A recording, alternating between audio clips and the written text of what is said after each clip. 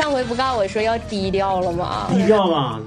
老找不着对象，这个大哥不一般。因前几次相亲失败，这次改变了战略。之前听了红娘的保持低调，结果大姐都让别人领走了。这次打算做回自己，于是大哥就金光闪闪的出现了。今天的相亲会不会成功呢？老铁们点赞，接着往下看。今天的女主角龚大姐，五十七岁，离异，退休金两千元，有一百三十平住房。之前开了一家月嫂公司，不想一生都搞事业就给关了。世界这么大，我要去看看。大姐的这次相亲，家人也很重视，就派了个亲友团代表外侄女过来把关。这是今天的男主角王大哥，六十二岁，看偶，退休金三千一百元，有住房。大姐提前了解过大哥的情况，所以很重视这次相亲。正聊着天，大哥就到了。大姐赶紧嘱咐红娘：“我会做饭的事儿啊，千万别告诉他啊，千万别告诉他。我不能说是将来要去他家给他做保姆。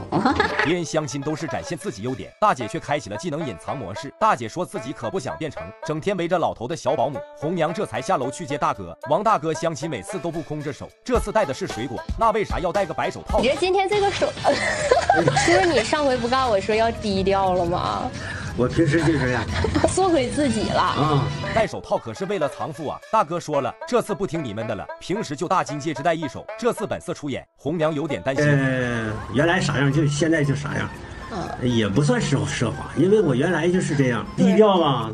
老找不着对象，总结了之前的失败，大哥改变了战术，必须展现出我的经济实力。以前没成功，可能就是太低调了。打个招呼吧，巩阿姨、王叔叔。哎呀，那我帮你。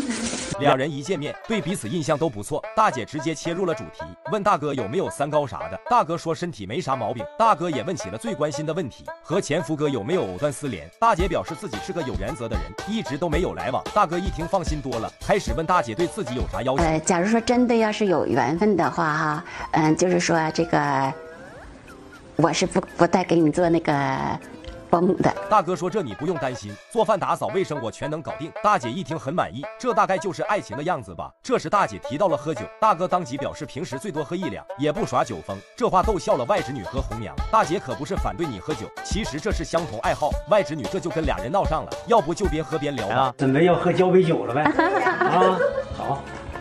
大哥心想，喝了交杯酒，你可是我的人了，不能耍赖。红娘开始发挥作用了，两位感觉怎么样啊？大哥说挺满意的，大姐说目前也挺满意的。这目前俩字啥意思啊？那是还有要求媒体呗。大姐说两人要是真在一起，就必须要领证。大哥也是敞亮人，当即表示你的是你的，我的也是你的，你就是我家未来女主人。大哥也直接对外侄女保证，绝对对她好。对，我对他就是像对我前妻那样，我对他啥样，对你啥样。今天又是甜甜的爱情啊！最后两人牵手成功，这世界上又少了两颗孤独的心，多了一对幸福的人。本期视频就到这里了，我是爱你们的小西西，咱下期见，么么哒。那结婚了能给女方一个什么样的保障？那到你家来供点吃穿住，那我这不可以，因为谁也不缺吃住。我是人，必须得有个保障，必须得存上三千的。是现在的老年相亲有多直接？大姐一上来就要求对方给她每月三千块钱的保障，那落魄大哥又会有啥反应呢？本期的相亲堪称是奇葩中的奇葩，请你一定要看到最后，因为越往后越精彩。你好，幸福幸福吗？哎呀，瘦啊！今天来相亲的女主角是秦仁华，秦大姐芳龄五十一岁。早在二十二年前，秦大姐和前夫因感情不和而离了婚。离婚之后，她独自一人来长春打拼赚钱。你真漂亮，就是拼搏挣钱。那时候一个钱还外债呢。那时候有多少外债呀？三万来块钱。才什么钱外债呢？那时候孩子身体不怎么舒服，那多少把给借的。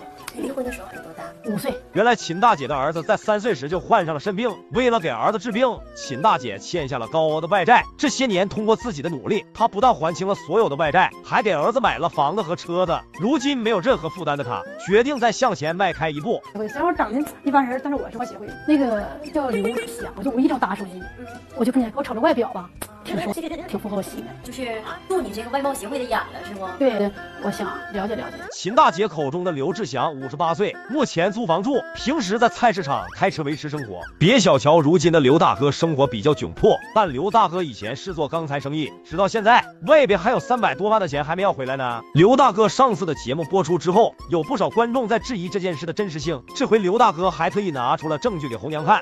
我一六年的事儿，我那有法院判决书的。啊，刚才买卖合同啊。对对。啊，这是这都那这个我我我不能伪造，我不能伪造，这是事实吧？嗯。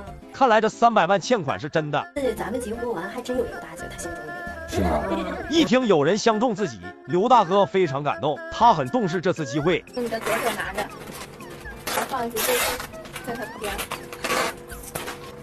再放一只。好的。刘大哥亲手制作了一束诚意满满的鲜花，带着这份浪漫，一行人踏上了和秦大姐的相亲之旅。看到刘大哥手捧鲜花向自己走来，秦大姐显得很兴奋。大哥用不用介绍这个自己了？那个我那叫什么名字？叫刘志祥吧，大概是。嗯，那请介绍一下咱们。我姓秦，我叫秦一华。哦。这个大哥刚才抱着花走过来，大姐说：“哎呀妈呀，这太浪漫了，从来没见哪儿就一束花什么之类的。”哥这是亲手给你包的，花怎么配的？这个外边是怎么包装？都是大哥亲手搭配挺好的，挺好的，确实挺好。我把这个鲜花送给你。谢谢谢谢。刘大哥这浪漫的举动，让秦大姐对他的好感度加了一分。是有诚意，他不有诚意吧？他不拿东西，别管东西多少。今天天气很好，你看这个我打扮咱们，早上还下雨呢，现在人这么晴了。现在阳光明媚了。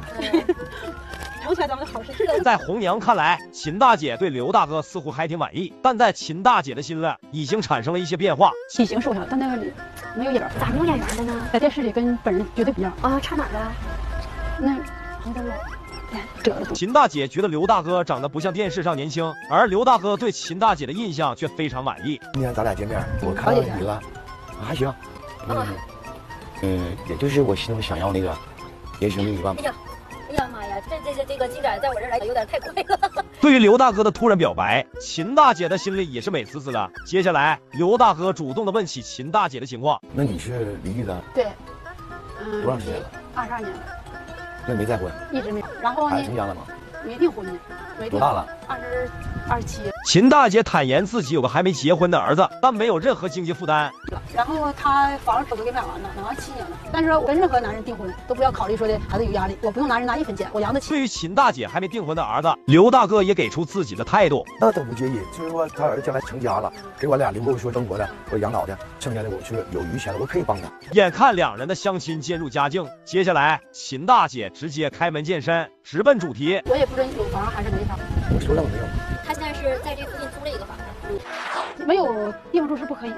一听刘大哥没房子，秦大姐顿时就不乐意了，这难免让红娘有些不解。那你当时已经听说是他没有房了，那你为啥还还还觉得他还不错，还想跟他见一面呢？这个他演员在电视看吧，瞅着外表吧挺好，我没想见面，就是演员没那么太过关。人家问东，你说西，简直是牛头不对马嘴，答非所问。接着他继续对刘大哥进行步步紧逼。生活上你是怎么安排的？家里的一些开销是怎么安排的？我来，嗯，我来。那结婚了能给一个女人一个什么样的保障？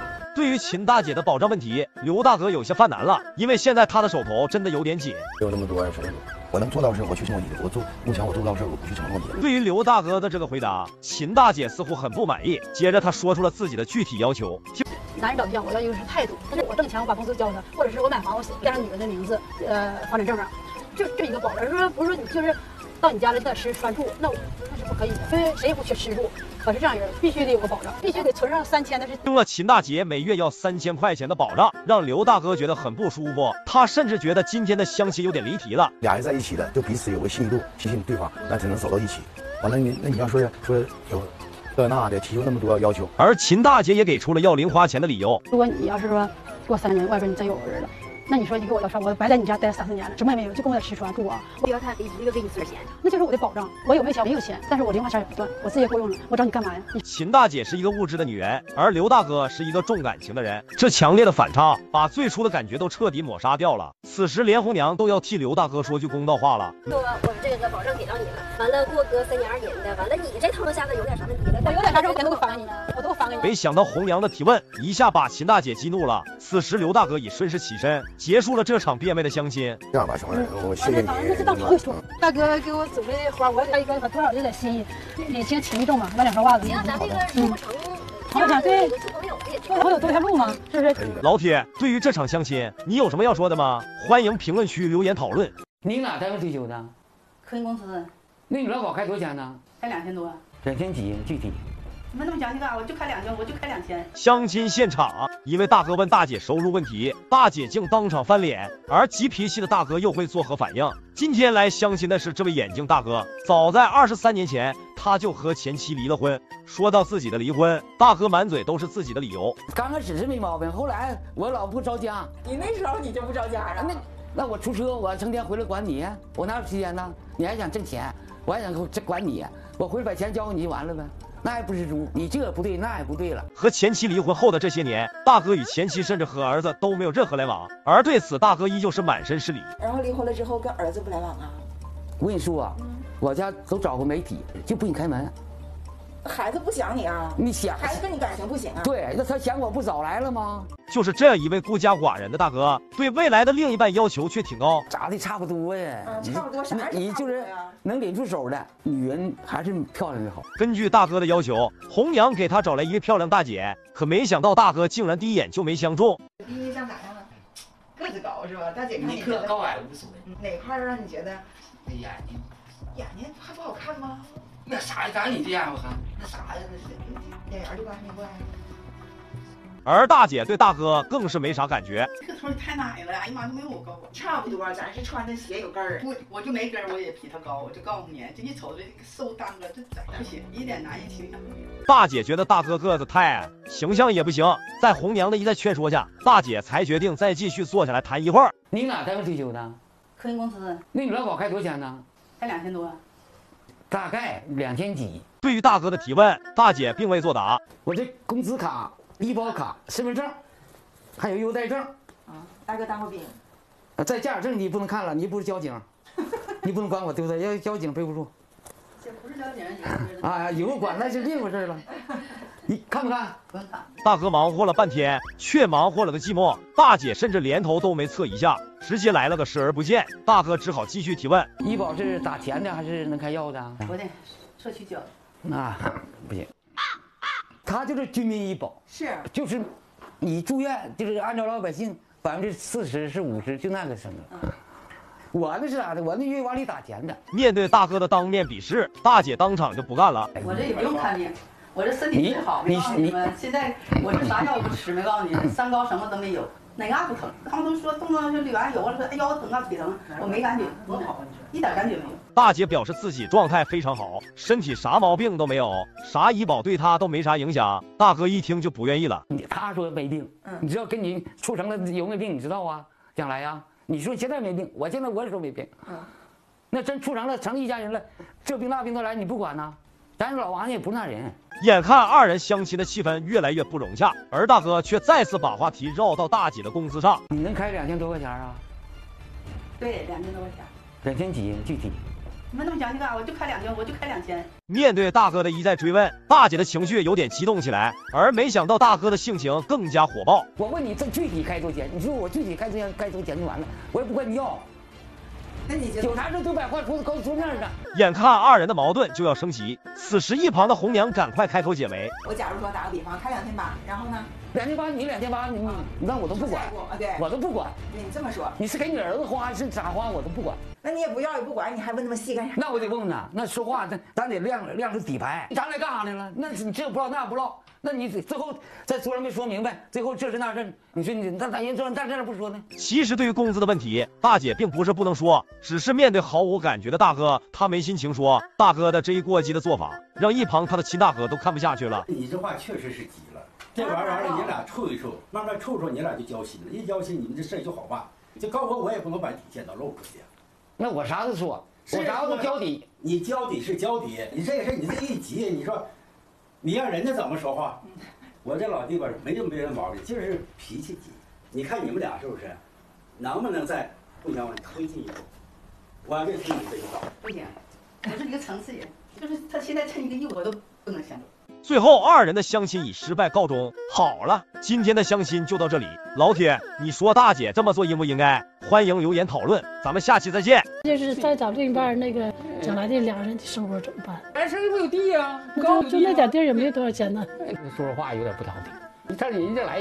对不对？你还你收入，还你这能收多？谁知这玩意儿收入多少钱呢？相亲现场，爸妈一上来就直接提出经济收入的问题，引起对方的反感。那接下来的相亲会有哪些转机？最终两人又是否会牵手成功呢？李永喜，李大爷六十三岁，丧偶，平房面积七十平米。这样的炕，你看，这能全是炕。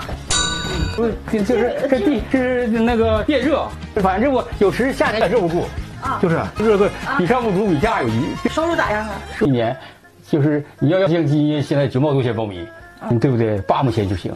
往年我没种地，哎，我老伴儿有病吗？李大爷的家着实是温馨而又亮堂。他的老伴去世一年多了，在之前的几十年里，老伴一直在和病魔抗争。住得住得得有十回上医院，我这钱都捐捐款医院了。我去北京去了两次，还两次。多年来，李大爷一直都把家和生病的老伴照顾得非常好。早上起来，首先是食堂，食堂打一道，完我这边憋住饭，完我得完了整热了，我得喂他。因为吃不了，有时抱我在胳膊吃，有时再不能吃，放老摘了一点一点那么给。这些年，李大爷每天要拿出四十八小时的精力来过二十四小时的一天，不管有多累，他都把老伴照顾得很好。可是老天还是没能给他留下一丝丝的怜悯。老伴走后，身边的人都劝他日子要往前看。这年来，也有不少人上门给他介绍，可他坚持要等老伴的周年过了再考虑。那如今的李大爷想找个啥样的伴呢？嗯，立正人，但是胖点无所谓，就就就是主要得有演员。只要演员过关了，那对方来就可以直接享福。在这嘎达啥也不用你干，我做饭我啥都会做，炒菜我都会。根据李大爷的择偶要求，红娘想到了一个合适的人选——李浩赫。李大妈六十一岁，丧偶，经济收入四百五十元，平房面积七十平米。你嗓子有点哑呀，大姐。嗯，我就是，呃，以前跟我妹妹俺俩那个，我妹妹卖卖货，完了跟她俩喊的，一下把嗓子喊坏了。在二十几年前，李大妈的老伴就因病过世了。老伴去世后，为了不让孩子们受到委屈，她独自一人把一双儿女拉着大，为此她吃了不少的苦，收过废品，掏过厕所。扛过水泥，如今儿女都已成了家，辛苦了一辈子的李大妈觉得是该为自己考虑了。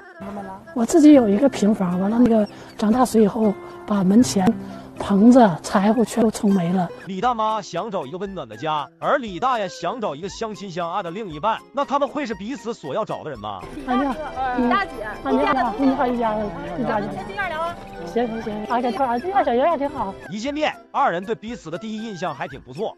还行吧，人挺好的，人个头啥的也行。就是，哎，想找这么个人吧。我一找这个人，咱们是不像那个农村他们找那种条条件。说我找个人，我找你，我指你干活，得种地。这个啊，我们这嘎地挺多。你这有地，谁都不帮种？我李大妈说的话打动了李大爷的心。这他说地话挺实在，到了我也不能瞅你干活啊。接下来，李大妈直接进入相亲的正题。将来这俩人的生活怎么办？俩人生活有地呀，就那点地也没多少钱。地，我就一万多也够啊，那也就一万多块钱是吧？呃，两万多，一万多能行吗？我三万一给多少钱呢？现在九毛四的话，也不知道九毛八毛钱呢。多少钱？李大妈一见面就直接问经济收入的问题，这让李大爷很反感，说说话有点不好。你看人家来，对不对？你还你收入还你能收入多？谁知这玩意收入多少钱呢？这年头好了，他卖一块钱我就多收入，剩两万呢。这年头不好的话，瞎的话，那谁没着？你不不瞎了，我我让你你也饿不着。而李大妈觉得大爷的收入不够以后的生活。就是差在他地太什么，两人生活将来真的有个天灾病，不想考虑了。我就这堆块对不对？要钱我没也没有钱。最起码一看，一看，一一两个人的生活。我也看了，我也看好多说，最后你给我哎做落说，那你给我五千钱，我说一千我也不敢。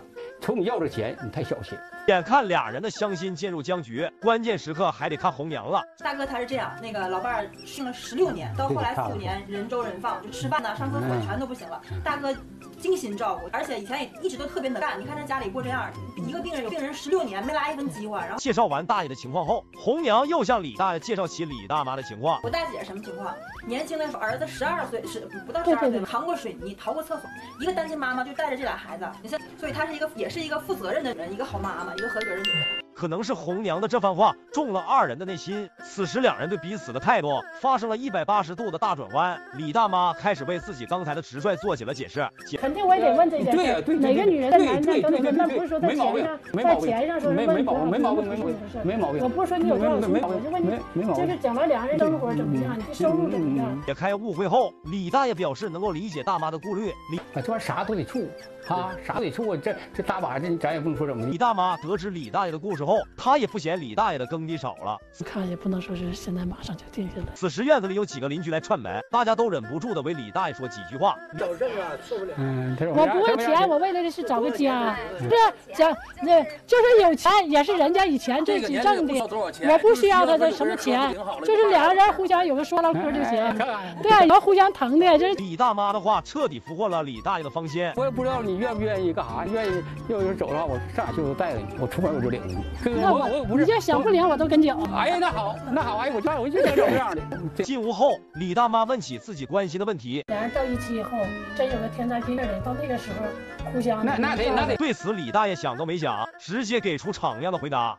哎，那你管呢？我我这是这是你找我了。啥？我这人哎，那我肯定我得肯定我得负责呢，对不对呀？咱有点不行，我不能可能找你儿找你姑去。对。此时二人的态度已经明朗多了。李大爷开始张罗着饭菜，准备留李大妈和红娘吃顿饭。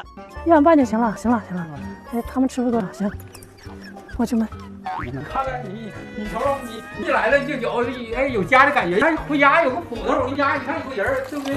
你看你在准备饭菜的同时，李大妈开始规划起未来的菜园了。茄子，摘点小葱，种点菠菜、白菜啥的，种点豌豆角、豌豆角，种把和婆婆丁籽啥的撒着点儿。而李大爷却张罗着要让红娘一行人带礼物回去。有小白花，我这这是我自己自己酿，这点就点心意，我因为你们四个。给那个燕子主人给我带一个带带一瓶。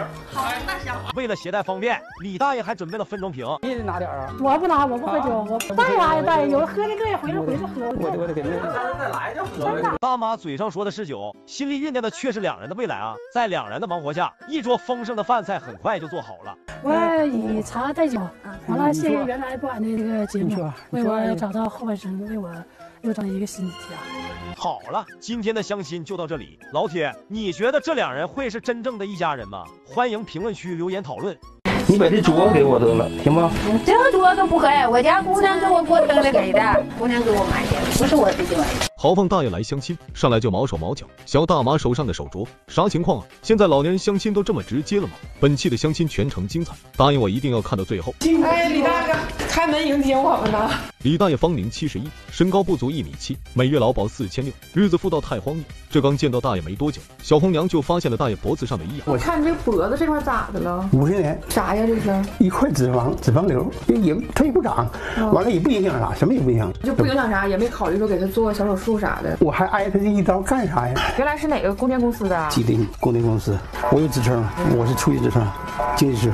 我，这还有个一等功呢！哎呦，我我那立功立老鼻子了，生产节约的，挺先进的，技术革新的，真是小母牛坐火箭，牛上天了。大爷年轻时混得有多风生水起，现如今就有多孤单无比。都说男人一过四十，身体就会乏累，运气开始变背，公司不再用他开会，老婆的脸色也逐渐不对。大爷也正是如此，他的老伴在二零一九年时查出癌症，随后便永远离开了人世间。我老伴对我特好特好的，吃饭就是我下班以后，我做饭，正好一度我在那坐着，他回来了，赶紧给我撵走，你回去屋里，我说不用你做。他说一个一个一个老爷们儿一出门到外头，浑身一股那个那葱花味儿。你说你你在家你不受气，你也是气管炎。老伴临走前跟我说了三件事，第三个呢，你千万听我的人，你往前走一步。这一辈子吧，我最满意的就是我老伴儿对我好，再找这样的。不容易了。人生就像打电话，不是你先挂，就是我先挂。自从老伴患病离开人间，大爷的人生就如同阴霾遮天。本想着就此孤独终老，引入尘烟，但一想起老伴临终时的叮嘱万千，大爷最终还是决定不再发念，当即报名相亲节目，是要找到属于自己的天仙。那么话又说回来，大爷想要找个啥样的呢？我第一要求就是必须有双保，第二呢身体健康。第三个就是没有不良嗜好。总结下来就是有老板，身体好，不哭不闹不爱吵。而在听完大爷的要求后，小红娘立刻就找到了眼前这位姓王的大妈，并火速安排了二人见面。你月开多少钱？四千六。我想的是啥呢？我说的心里话哈，你一个月必须拿出这一千块钱，你存起来。这一千块钱，家里所有的琐碎事儿全都不用你干哈。以后就是家里大情小事、礼尚往来这些事儿，都从这三千多块钱里出。你如果要是真正说有特殊情况不够的话，我还可以拿我的工资把这个钱就留出来。留出来以后吧，完了俺俩能花着花着，花不着的话吧，他就把这个钱直接给他儿女，因为毕竟他有儿女。被名人用过的叫文物，被凡人用过的叫废物。大妈那纯纯属于是求之不得的天外来物。这刚一见面就主动表示自己可以贴钱给老头花，实在是太贤惠了。这一波我必须给他打个八十二分，剩下的十八分要以六六六的形式奉上。一旁的大爷见状也十分满意，但老人都说媳妇还是原配好，新鞋永远不跟脚，原配可以长相依，二婚不能代替妻。大爷这一上来就再次念叨起了自己深爱的亡妻。说这头这是我老伴整的，那老伴搁那的瞅瞅，完了心里还好一点，好受一点。但是我要去了，咱俩要成了过日子，我该跟你亲的都亲。你看着我过日子没？乱七八糟我绝对不要。嗯，那没关系，有了这个老伴儿，以前的一片放不下。你还天天心思永远那老伴儿，一定是肯定有想法。再找着老伴儿了，那那一片就得翻过去了。你不能是你就让新账，那不能说老老算旧账。大爷啊，说好的深情人设呢？本以为话题聊到这里，大爷大妈的爱情已经是板上钉钉，谁料大妈的下一句话直接结束了这场相亲。你们俩姑娘性格怎么样？刁不刁你们孩子？刁不刁你们孩子？刁啊，不刁就行。到时候你这个不对，那个不对，我不希望有这样的情况下。这个人老厉害，就是脾脾气相当好。大姐，他这个人不是说你听他嗓门高，觉得他好像是脾气不好，但其实他就是嗓门大。两码事。第一个问我，你们两个姑娘有没有那个姑娘满谈？就是那意思就是说，你们演几个，在我这个容忍度之内，你得给我面子。马打半子撒开缰，嘴出岔子惹祸殃。大妈一句没有走心的话，直接惹怒了大爷。即使小红娘再怎么打圆场都没有用。俗话说得好，脚陷泥里拔得出，话说过头收不回。现在别说大妈是嗓门大，就算是谢门大，大爷也是坚决不能同意。就这一点，咱俩性格上不来，肯定是肯定上不来。那，对，做个朋友吧。你很好，我不配。再见之后，下一位告别了王大妈之后，小红娘立刻行动，很快就为大爷匹配到了本期的第二位女嘉宾。你好，姐，我是小五啊。吴大妈芳龄六十七，名字看起来很牛逼，住房面积七十平，搭配大爷我看行。刚走进大爷的家门，大妈的脸就拉得比长白山还长，那屋子里乱的，耗子来了都得开联欢会庆祝。真抽的，你看了这个一个，这东西可真多，这东西多啊！哎呀妈呀，愁死我了，太不像样了。杂物多满屋灰，差点赶上废品堆。大妈见眼前的环境如此悲催，当即就想跟老头吹。大爷见状也是赶紧解释起了其中的原委。我呢，我也不在这头住，我在我姑娘那头住。这个这个地方呢，我要想起我老伴儿了，我就来抽烟。该处理的就处理。对了，那我得有新老伴儿。你来了以后，咱们就在那该处理就处理。大爷的回答也算是暂且打消了大妈的顾虑，但很快他就发现了不对劲。我说脖子上那长那疙瘩咋回事啊？脂肪，脂肪瘤，就一块油。嗯，啥也什么也不影响。呃，还有一个啥，腿还瘸呢。腿还瘸是正常的，为啥呢？他老了。呀，这你这事儿，就你你说这么一句话呀，我这心里老敞亮了。哎呀，小姨子会跑。皮革厂会倒，能喊那百川的女人坏不了。一听到大妈对自己的缺点一点都不介意，大爷的嘴直接跟耳朵根子无缝对接。正所谓男人赚钱老婆花，老婆活到九十八。为了一举拿下心上人，大爷直接亮出自己的经济优势。我工资呢四千多块钱，你两千五百块钱，嗯，我四千多块钱，咱俩吃什么喝什么买什么都有条件。如果说是这个钱呢，呃，你说我愿意管，我可不管那钱，我可不管那钱。如果说让我管呢，那如果说是你挣到我钱头去了，啥时候没有？我给你这一切，我给你安排妥了。爱就别克制，喜欢就放肆。眼看着二人已经是树上喜鹊叫喳喳，好事临头，大妈却突然表示自己的婚事必须要征求女儿的同意。你你先问你姑娘，你先征求她意见。都到这儿了，咱也别过后问了，现在给姑娘打个电话吧。你上班呢，上班不让。那你自己啥想法？啥情况？大妈不会是自己不愿意，于是随便找了个借口拿来搪塞大爷吧。我我说的话，主要人好的话，客户拿一拿也我也无所谓。我喜欢你。你把这镯子给我得了，行吗？这个镯子不给，我家姑娘给我过生日给的。我这有个比你那个大点的，你换这个看行吗？像我这一个是我老伴儿，我买完给他，他就一直没带。这个镯子呢是一个他一个我，是那样，这不今天给他一个吗？姐妹们都看到了没？所以说女人一定要照顾好自己的身体，不然等你没了，很快就会有其他人来住你的房子，管你的孩子，吃你的梅子，戴你的镯子。但玩笑归玩笑，大爷找到真爱实属不易。在此也衷心祝愿二人能被永结同心，白头到老。好了，以上就是本期全部内容。如果你也喜欢小编的解说，那就动动发财的小手，点点关注，点点赞。咱们下期见。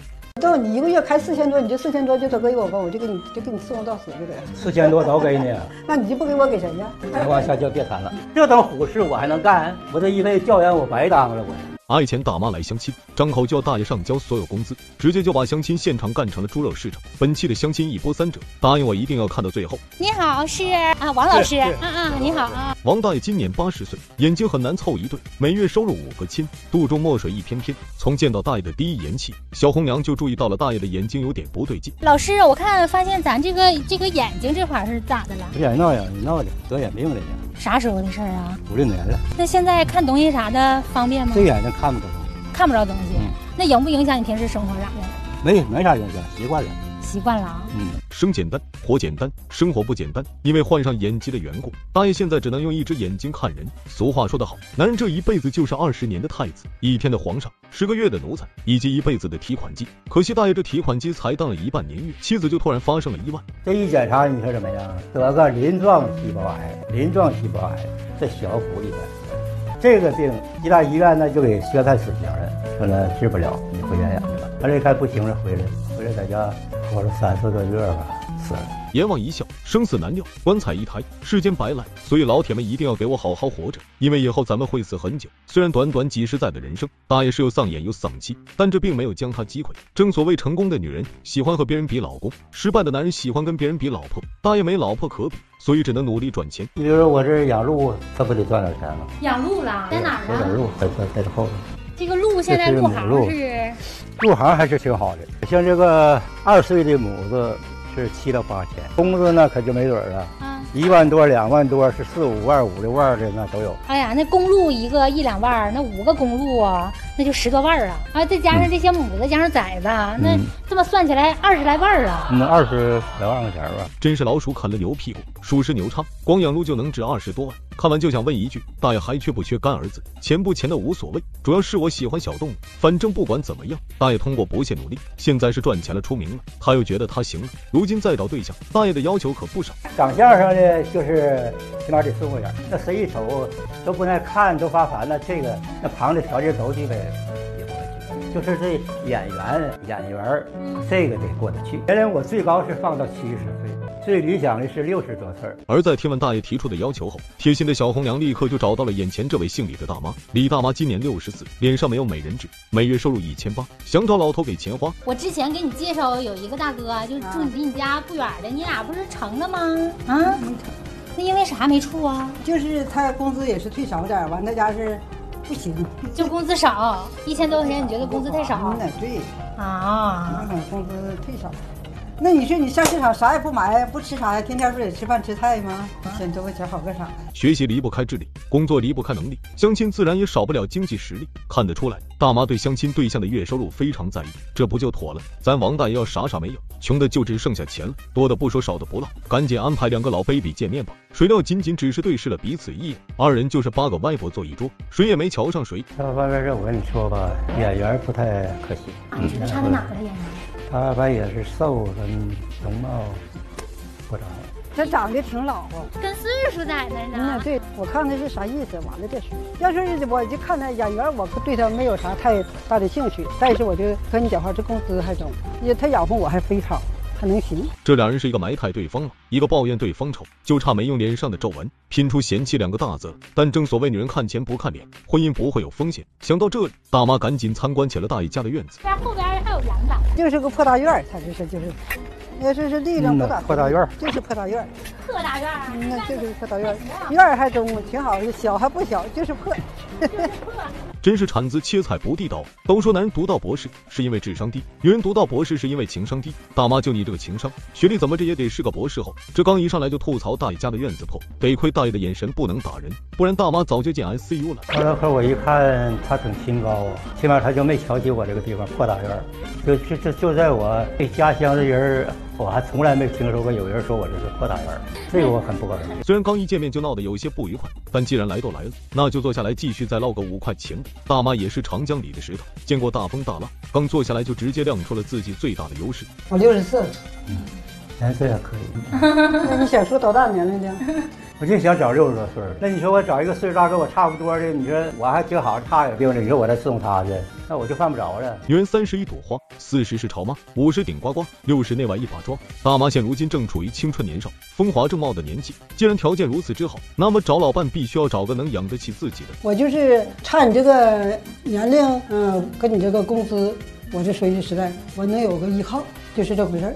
呃，依靠的情况下，我要是给你伺候到老。最后有啥办法？咱们得说明白的。我伺候人，我是能伺候。到你一个月开四千多，你这四千多就都给我吧，我就给你就给你伺候到死就得了。四千多都给你，那你就不给我给谁呢？大妈的意思很明显，你就算再有钱，不拿出来交给我，那也是老和尚买梳子屁用没有。而在听完大妈提出的要求后，大爷当场就火了，屎壳郎掉进喇叭中。他算个枣还是算个豆？再往下就别谈了。这等虎事我还能干？我这一辈子教员我白当了我。不知天高地厚了。这一句话我烦恼了。哪句话？就是我四千多块钱工资归他，这不这是拿我虎子吗？凭啥都给你？我几辈子没有捞着老伴儿啊！而见到大爷的态度如此决绝，大妈也开始服软。我不就说的那个那个工资的事吗？那你真想把人家四千多块钱的工资全拿到手啊？其实我是说他这个意思，我看他是啥意思。啊，你我就考验考验他。啊，对呀，了解了解吧。想法我就想先了解两天。不谈不谈了。那就拉倒。节目最后，二人相亲还是以芭比 Q 告终。好了，以上就是本期全部内容。如果你也喜欢小编的解说，那就动动发财的小手，点点关注，点点赞。咱们下期见。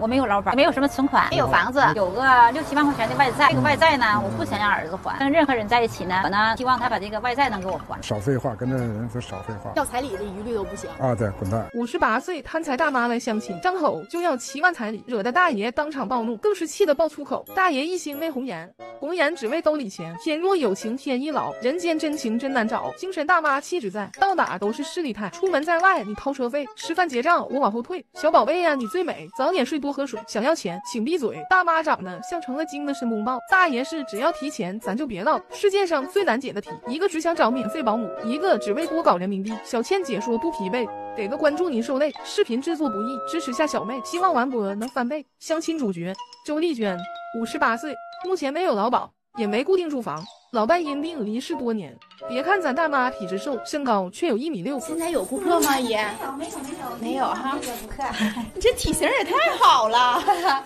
行吧？又高又瘦的，一百零四斤，好瘦啊！营养不良，穿上高跟鞋就一米六六。女人要想混得好，头发必须往后倒。咱这大妈的面相跟上期男嘉宾苍中神很像，赶脚俩人极度般配，像现实版的雷公电母。大妈虽然人比较瘦。但按摩起来有节奏。你上次就什么局部按摩啥的，你这按肩颈能有劲儿吗？你这么瘦，反正还行吧。房子是租的，这个是租的，一年一万块钱。现在顾客咋样？人多不？现在一天三四个、四五个人，二三百块钱一天啊？对，那也还行，还可以吧。多了呢，我自己也做不过来呀。先擦鼻涕后抹泪，大妈工作不嫌累，大妈要求并不高。身高体重要达标，素质品德最重要。对象要在长春找。首先一点是有劳保，首先一点我没有劳保啊，就是品质好，这个是最主要的，干净利索，没有太大的不良嗜好。这偶尔抽个烟、喝个酒、打个小麻将啥的，这都不算不良嗜好。不要什么酗酒，一喝就得喝迷瞪的，这样的不行。喝大酒，哎，喝大酒的不行。好是在长春就是范围之内的。嗯，如果他呢就是外地的呢，他要是能来长春那是最好。根据大妈要求，给安排了一位石宝祥，六十三岁。退休金一个月三千一百元，自有独立住房。大叔是唯一一位把相亲当成事业的，全国各地来回蹲，只为抱得美人归。老家在哪儿？黑龙江哪儿？双鸭山。